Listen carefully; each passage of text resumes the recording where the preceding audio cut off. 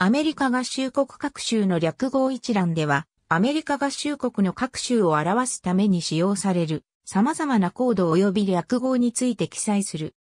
これらのコード及び略語は、郵便の住所、データ処理、一般的な略称、その他の目的のために使用される。以下の表には、自由連合名約を通じて、アメリカ合衆国に関係する独立国家参加国の略称、及びその他の同等の郵便における略称も含まれる。この中には、すでに使われなくなったものも含まれる。列見出しの判例、早くも1874年10月には、アメリカの郵便局は、州や海外領土の広く知られた略語を認識していた。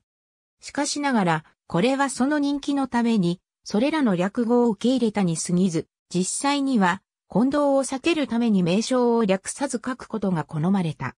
アメリカの州及び海外領土の慣習的な略語は、2文字のアメリカの郵便略語の導入に先立って、郵便の住所に広く用いられた。この略語は、今もなお他の目的で一般に使用されているほか、郵便公社により認識されている。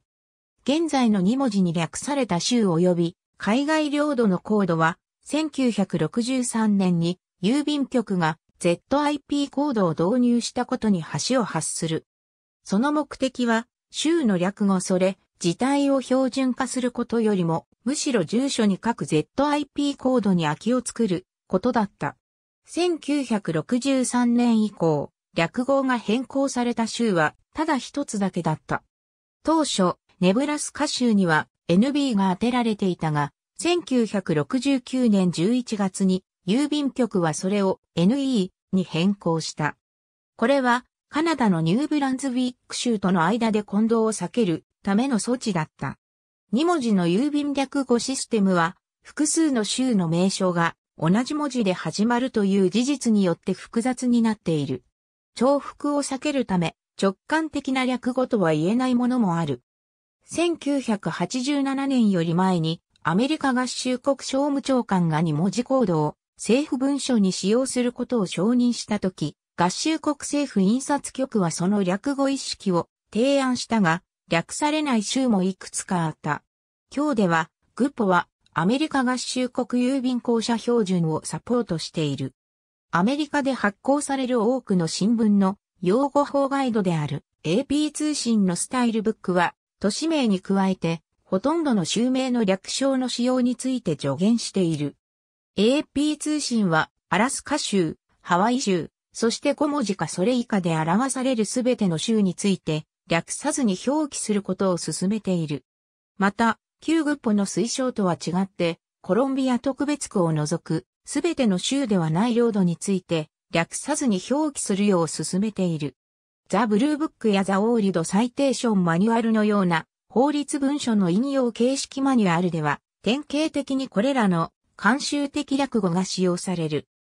米国国家企画協会は、各州及び離島のためにアルファベット及び数字によるコードを安心標準印出38、2009として定めた。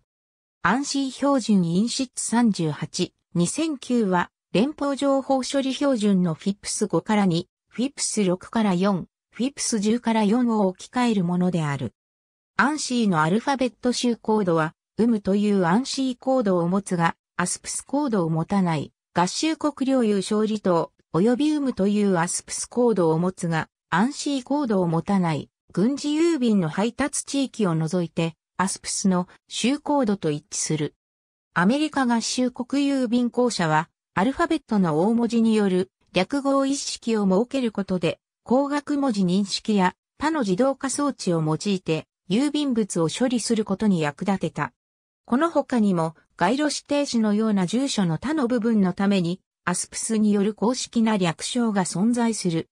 これらの郵便略語は、カリフ、フロ、あるいは、テックスのような慣習的な略語とは区別される。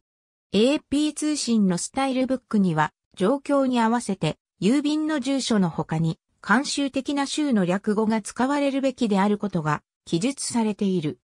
しかしながら、シカゴマニュアルオブスタイルでは、現在、大文字2文字の略語の使用が推奨され、慣習的な形式は選択肢の一つとされている。50ある各州の郵便略号は ISO3166 から2の行政区画コードと同一である。これらのコードは13あるカナダ各州及び領土の郵便略語とは重複しない。ネブラスカ州に当てられていたコードはニューブランズウィック州のものと混同するのを避けるため、1969年に NB から NE へと変更された。カナダは同様にマニトバ州にメガバイトを当てて、米国の様々な州とコードが重複するのを防いでいる。アメリカ沿岸警備隊は船舶番号に2文字からなる窃盗時の一式を使用している。39の州とコロンビア特別区についてはアスプスとユートシーグで同じ略称を使っている。ユートシーグの窃盗時には5つの離島のために設けられたものもあるが、これらはすべてアスプスの用いている略称と同一である。アスプスとユートシーグの使う略称が異なる12の事例について以下の表で示すほか、上記の表では赤字で示してある。ありがとうございます。